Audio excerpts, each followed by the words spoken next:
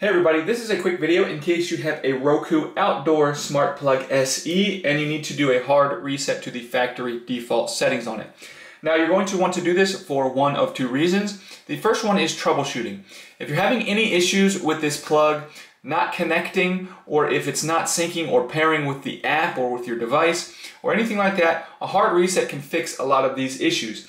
Now you're going to need to set it up again and that's the second reason you might want to do this. Um, if you're just trying to get everything wiped off of this plug so you can set it up like it's just coming out of the box new, we can go ahead and do that really easily with this plug.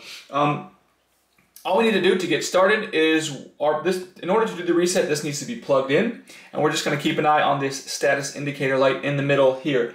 And then to do the reset, we can actually use either two of these power buttons. We're just going to press and hold the power button for five seconds and then release it. And then just keep an eye on this uh, set on this indicator light. When the indicator light quickly flashes in blue, that means that the reset has been completed successfully and you can go ahead and set this plug up as a new device.